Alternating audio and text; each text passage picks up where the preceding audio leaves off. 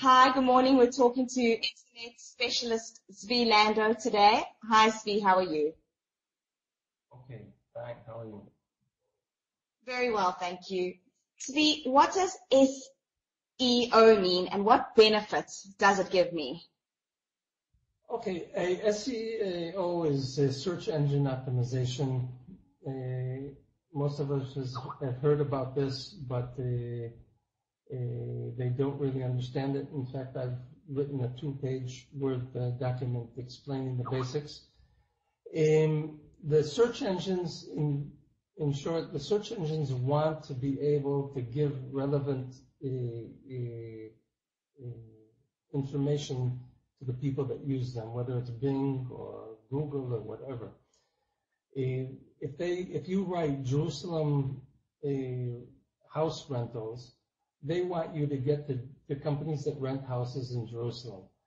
They don't want you to get to some guy uh, who's selling something something in the United States, but he's put in Jerusalem uh, uh, house rentals in his keywords.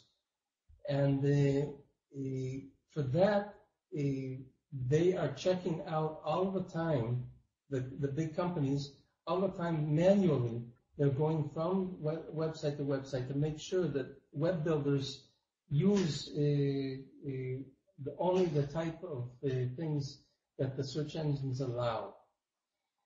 There are companies called SEO companies, and what they usually do is, they promise. first of all, they promise you the world. Second, they take from you a lot of money. And Third, what they do to get you those results is they cheat the cheat the search engines to think that you're much bigger than you really are. They do that in uh, all sorts of ways by landing pages and making multiple sites and things like that. I want everybody to understand, this is not allowed by Google or by Microsoft, and if they find you, you're blacklisted, and your website will never be on their search engine again. There I on saying that, there are things that the search engine companies tell us web builders what we can do, and uh, it's something that I do for free in my in my services because it's not a lot of work, but you really have to do it the correct way. And then if anybody contacts me, I'll send them the document that I wrote, and it explains. Zvi, tell me a little bit about the services that you do offer. Okay. We're building websites, uh, web projects, uh, whether small, you know, uh, one, even one-page websites, like I did for my son for his gardening business, or organizational websites, or websites that are built by databases which allow people to edit and add as much information as they want, pictures and things like this. Uh, we do programming, the graphic the graphics work. Uh, I should actually say that the first thing we do is we help plan out the website correctly with uh, our clients, which saves a lot of headaches and heartaches afterwards. And um and then, like I said, we do the graphics, all the graphics work, whether it's Flash and animation or whether it's regular graphics, design and the web building, and of course, the search engine optimization, which we give as a free service for uh, our clients.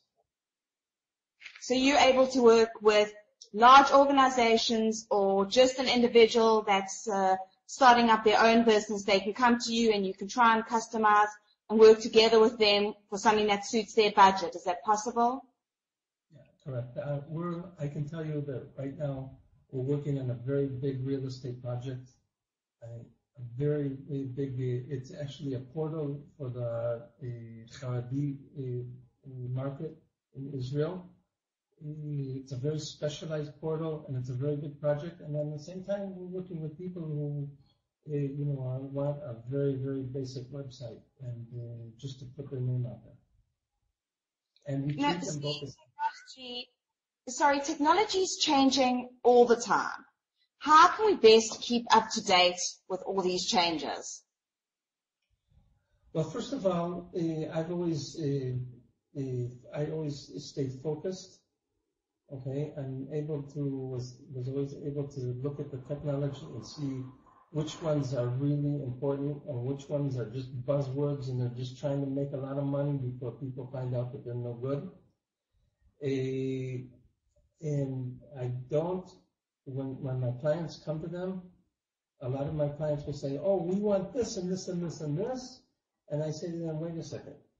When you start out, you know, I know that you, no, no matter who you are, your budget is is is an issue, and there are sometimes things that you can do uh, more inexpensively, or things that you can do without in the beginning. And I always try and make the the client. I say to them, you have to be able to profit from your website, whether you're looking for money or you're looking for people or you're looking for organization, whatever it is you have to be able to get some kind of a profit out of what you're doing. And I don't allow people to do more than that. Thank you, Zvi. Thank you so much for talking to me today. Okay. Thanks a lot, John.